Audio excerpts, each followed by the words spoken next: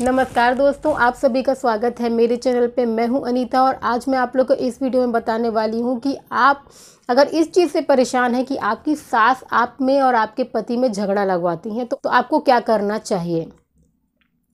तो सबसे पहली बात अगर आपकी सास आप में और आपके पति में झगड़ा लगवा रही है तो कहीं ना कहीं आप दोनों के बीच प्यार की कमी है भरोसे की कमी है। हम्म और आपके जो हस्बैंड हैं उनको आपसे ज़्यादा विश्वास अपनी माँ पे है। तभी तो उनको इतना अधिकार मिल पाया है कि वो आप में और आपके पति में गलत फहमी पैदा कर दे रही हैं या झगड़ा लगवा दे रही हैं। तो अगर आप चाहती हैं कि आपकी ये प्रॉब्लम दूर हो जाए तो ये वीडियो पूरा देखिएगा। मैं कुछ तरीके बताने वाली हूँ, कुछ उपाय बताने वाली हूँ, जिससे आपकी प्रॉब्लम सॉल्व हो जाएगी। इस बात को लेके बहुत ज़्यादा परेशान होने की भी ज़रूरत नहीं है और इतना हल्के में लेने की भी ज़रूरत नहीं है। क्योंकि ये बात अगर बढ़ जाएगी तो आप और आपके पति का जो रिश्ता है, उस पर बहुत ज़्यादा प्रभाव पड़ेगा, जो कि बिल्कुल भी अच्छी बात नहीं है। और हाँ अगर आप ये सोच रहे हैं कि हाँ ये बहुत ज़्यादा टेंशन वाली बात है तो बहुत ज़्यादा टेंशन वाली बात भी नहीं है। बहुत ही छोटी छोटी सी चीज़ों को अगर आप ध्यान में रखें तो आपकी ये प्रॉब्लम सॉल्व हो जाएगी।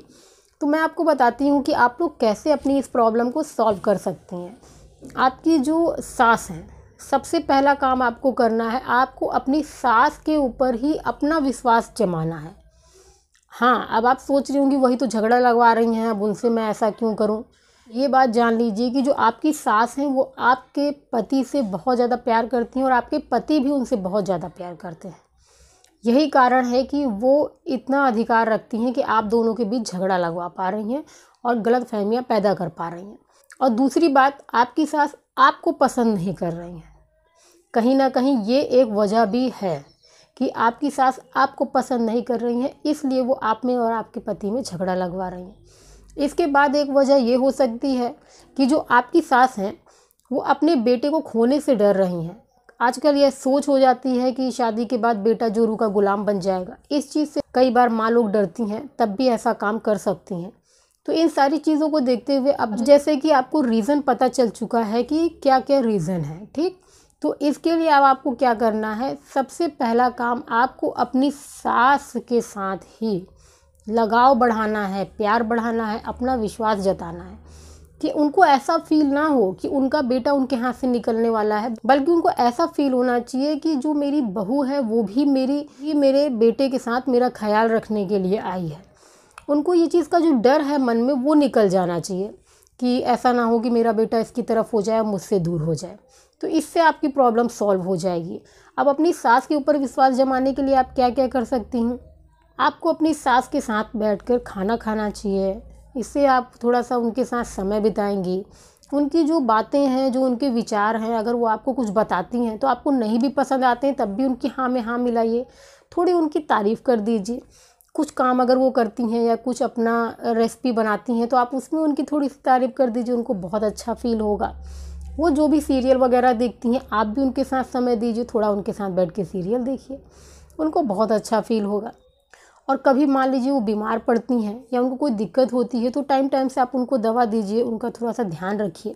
या उनको कहीं बाहर जाना है, किसी शादी में या फ़ंक्शन में तो आप थोड़ा ध्यान रखिए कि हाँ मम्मी जी, आप क्या पहनने वाली हैं, क्या पहनेंगी? या अपना कोई आप साड़ी हो, वो चीज़ उनको अरेंज करवाइए।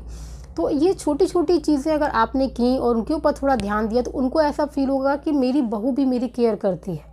ये मेरे बेटों को मुझसे दूर नहीं करेगी, बल्कि इसके आने से तो मेरा बोझ और कम हो गया है। तो धीरे धीरे वो इस चीज़ को लेकर टेंशन फ्री हो जाएँगी कि जो मेरी बहू है, वो मेरे बेटे पे कब्जा जमाने नहीं आई है, बल्कि वो उसके साथ मेरा ख्याल रख रही है। और इसके बाद जब आपने अपनी सास पे अगर ऐसा लगाव बना लिया, उनके साथ विश्वास जता लिया। तो अपने आप ही आप देखेंगी, जो आपके हस्बैंड हैं, वो आपको पहले से ज़्यादा रिस्पेक्ट देने लग जाएँगे और आपके ऊपर भरोसा करने लग जाएँगे, विश्वास करने लग जाएँगे। उनको दिखेगा कि ये मेरी माँ से, मेरी फैमिली वालों से बहुत प्यार करती है। उम्मीद करती हूँ कि आपको इस वीडियो में जो मैंने बातें बताई हैं, वो समझ में आई होंगी और इन बातों को ध्यान में रखते हुए आपकी ये प्रॉब्लम सॉल्व हो जाएगी। अगर आपके जो पति हैं, वो अपनी माँ की बात मान के आपसे लड़ सकते हैं तो वो अपनी माँ की बात मान के आपको प्यार भी कर सकते हैं। इसलिए आप थोड़ा सा उनकी माँ पे ध्यान दीजिए, उनके साथ अपना लगाव बढ़ाइए और अपनी प्रॉब्लम को ख़त्म करिए। तो मिलती हूँ नेक्स्ट वीडियो में।